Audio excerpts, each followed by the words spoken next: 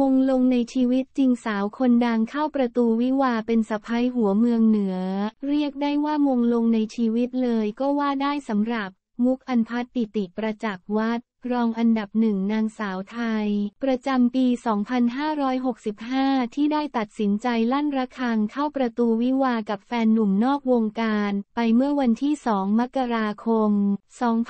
2567 ที่ผ่านมาที่จังหวัดเชียงใหม่พร้อมเหล่าคนในวงการบันเทิงและเพื่อนเพื่อนๆแก๊ง นางสาวไทยประจำปี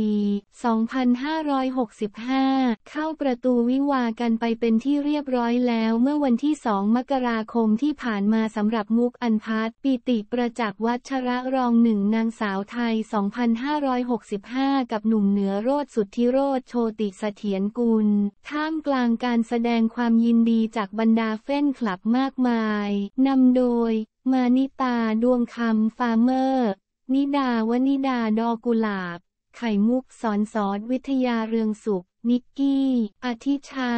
และแม่ปุ้ยปิยาพรแสนโกสิก กรรมการผู้บริหารบริษัท TPN Global จำกัด มาร่วมอวยพรในพิธีงานแต่งงานของสาวมุกอีกด้วย ล่าสุดสาวมุกได้จูงมือสามีไปจดทะเบียนสมรสณที่ว่าการอำเภอสารพีจังหวัดเชียงใหม่ ด้วยสีหน้าที่ยิ้มแย้มแจ่มใสตามเวลาฤกษ์งามยามดีที่สาวมุกได้ดูเอาไว้พร้อมโพสต์แคปชั่นว่า